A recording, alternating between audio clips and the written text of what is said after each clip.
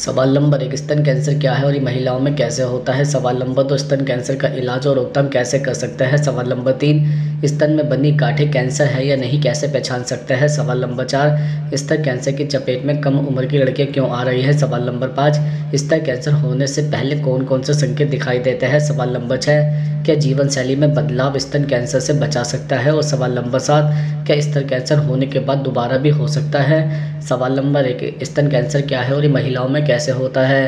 दरअसल स्तन कैंसर महिलाओं के स्तनों के अंदर विकसित होने वाला एक तरह का कैंसर है। आमतौर पर यह महिलाओं में आम है, लेकिन आजकल यह पुरुषों में भी हो सकता है। यह ज़्यादातर मामलों में एक या एक से अधिक गांठों के रूप में शुरू होता है, जिसे स्तनों के अंदर महसूस किया जा सकता है। यह गांठें स्तन के ऊपरी या नीचे हिस्से में होती है। इसके अलावा वैसे तो स्तन कैंसर होने के बहुत से कारण हो सकते हैं, लेकिन हम आपको स्तन कैंसर होने के पाँच प्रमुख कारण बताने जा रहे हैं। जैसे नंबर एक, अधिक उम्र का होना। ऐसा देखा जाता है कि अधिक उम्र में शरीर की कोशिकाओं में अनुरूप बदलाव होता है, जो कैंसर के विकास को तेजित करता है। नंबर दो, अधिक वज़न बढ़ना। ज़्यादा वज़न वाली महिलाओं में स्तन कैंसर के खतरे में वृद्धि आम महिलाओं के मुकाबले ज़्यादा होती है। इसकी वजह यह है कि वज़न से शरीर में हार्मोन के स्तर में असंतुलन होता है, जो स्तन कैंसर के चांसेस को बढ़ाता है। नंबर तीन, परिवार का इतिहास होना। स्तन कैंसर के मामलों में परिवार में अधिकतर महिलाओं में स्तन कैंसर का इतिहास हो सकता है। ऐसा कहना गलत नहीं होगा, इसके पीछे जेनेटिक कारण भी हो सकता है। नंबर चार, अनहेल्दी आहार खाना। अनहेल्दी आहार और व्यवहार भी स्तन कैंसर के मुख्य कारणों में से एक है। विशेष रूप से शराब और तंबाकू के सेवन से इसके खतरे में वृद्धि होती है। सवाल नंबर दो स्तन कैंसर का इलाज और रोकथाम कैसे कर सकते हैं? दरअसल स्तन कैंसर का इलाज और रोकथाम दोनों संभव है। इससे बचने के उपायों में सर्जरी, विकरण, चिकित्सा, कीमोथेरेपी, हार्मोन चिकित्सा और इन सभी का संयोजन शामिल हो सकता है।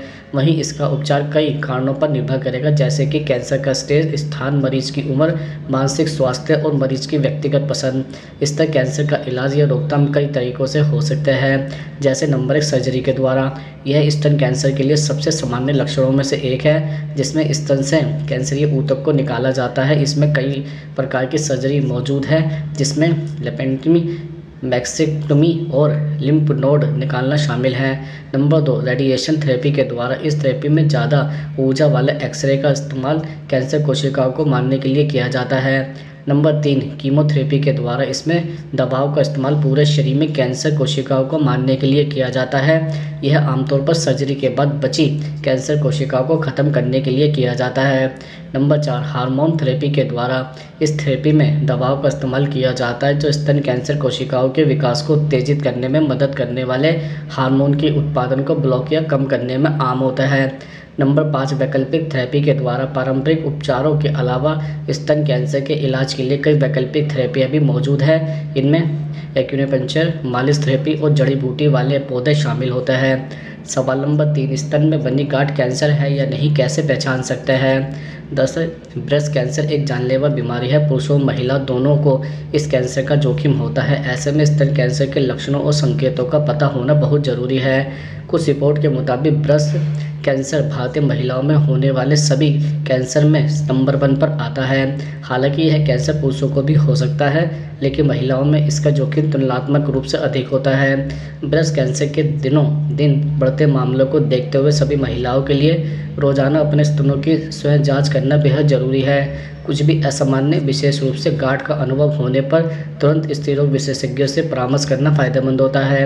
हालाँकि सभी गांठ कैंसर का संकेत नहीं होते हैं। ऐसे में यह महत्वपूर्ण है कि आप कैंसर और कैंसर रहित ब्रेस्ट गांठों के बीच के अंतर को समझें। इसके अलावा ब्रेस्ट के कैंसर के सभी मरीजों में एक दूसरे से अलग लक्षण हो सकते हैं। यहाँ तक कि कुछ मरीजों में इसके किसी संकेत का ना दिखना भी नॉर्मल है। यही कारण है कि ज़्यादातर समय तो सही समय पर इस बीमारी का पता भी नहीं चल पाता है। वैसे तो कैंसर रहित और कैंसर वाली गांठों के कुछ लक्षण एक जैसे होते हैं, जिसकी वजह से खुद इसका निदान करना मुश्किल हो सकता है।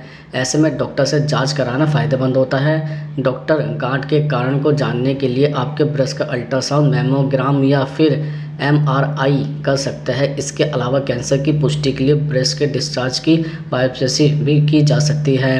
सवाल नंबर चार, स्तन कैंसर की चपेट में कम उम्र की लड़कियाँ क्यों आ रही हैं? दरअसल डॉक्टर के अनुसार पिछले 10 से 15 साल में युवा महिलाओं में कैंसर के मामले ज़्यादा सामने आ रहे हैं।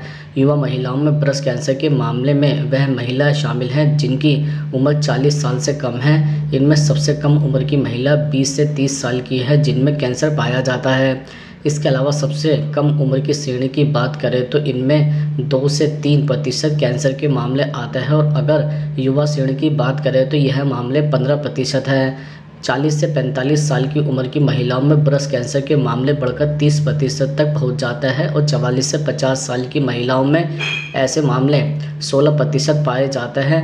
ब्रेस्ट कैंसर के मामले पहले 50 से 60 साल की उम्र में ज़्यादा आते थे, लेकिन हम इस बात को लेकर आश्चर्यचकित है कि 20 साल से ऊपर की लड़कियों में भी काफ़ी मामले आ रहे हैं, जो कि बहुत ही असामान्य बात है। सवाल नंबर पाँच, स्तन कैंसर होने से पहले कौन कौन से संकेत दिखाई देते हैं? दरअसल स्तन कैंसर होने से पहले आपको कई संकेत दिखाई दे सकते हैं, जैसे नंबर एक, स्तन के अंदर गांठ या मोटा होना। आपके स्तन या अंडर आर्म्स क्षेत्र में गांठ या मोटा होना अक्सर स्तन कैंसर का एक महत्वपूर्ण संकेत होता है, जबकि अधिकांश स्तन गांठें सोने होती है। किसी भी नई या असामान्य गांठ का स्वास्थ्य देखभाल पेशेवर द्वारा मूल्यांकन किया जाना आवश्यक है। आत्म परीक्षण के दौरान स्तनों की बनावट, आकार और आकार के सभी को ध्यान में रखते हुए देखा जाना चाहिए। और किसी भी बदलाव की तुरंत सूचना दी जानी चाहिए। नंबर दो, स्तन के आकार में परिवर्तन। स्तन के आकार या आकार में अप्रत्याशित परिवर्तन, स्तन कैंसर का संकेत हो सकता है। स्तनों में किसी भी ध्यान देने योग्य विषमता या विकृति के प्रति सचेत रहना महत्वपूर्ण है। यह एक स्तन के दूसरे की तुलना में बड़े या अलग आकार के दिखने या निप्पल की स्थिति में बदलाव के रूप में प्रकट हो सकता है। नंबर तीन, निप्पल में बदलाव होना। निप्पल में किसी भी बदलाव पर बारीकी से नज़र रखनी चाहिए। कुछ मामले में स्तन कैंसर के कारण निप्पल उलट सकता है। यह अंदर की ओर सुकड़ सकता है, जो किसी व्यक्ति के लिए असामान्य नहीं है। इसके अतिरिक्त असामान्य निप्पल स्राव खासकर अगर यह खूनी या स्पष्ट है, एक चेतावनी संकेत हो सकता है, किसी भी लगातार या अस्पष्टकृत निप्पल परिवर्तन का तुरंत एक स्वास्थ्य देखभाल पेशेवर द्वारा मूल्यांकन किया जाना चाहिए। नंबर चार, त्वचा में परिवर्तन होना। स्तन की त्वचा में कुछ परिवर्तन स्तन कैंसर की उपस्थिति का संकेत दे सकते हैं। इन परिवर्तनों में स्तन की सतह पर लालिमा, दाने जैसे धब्बे, गड्ढे, सुकुड़ना या संतरे के छिलके की बनावट का दिखना शामिल है। यह परिवर्तन कैंसर कोशिकाओं की घुसपैठ के कारण होता है, जो अंतर्निहित ऊतकों को प्रभावित कर सकता है और त्वचा में परिवर्तन का कारण बन सकता है। यह ध्यान रखना महत्वपूर्ण है कि यह त्वचा परिवर्तन हमेशा एक स्पष्ट गांठ के साथ नहीं होता है। नंबर पाँच, लगातार स्तन दर्द या बेचैनी होना। स्तन दर्द कई महिलाओं द्वारा अनुभव किया जाने वाला एक सामान्य लक्षण है और यह अक्सर हार्मोनल परिवर्तन या सौम्य स्थितियों से जुड़ा होता है। हालाँकि लगातार या अस्पष्टीकृत स्तन दर्द या असुविधा का मूल्यांकन एक स्वास्थ्य देखभाल पेशेवर द्वारा किया जाना चाहिए।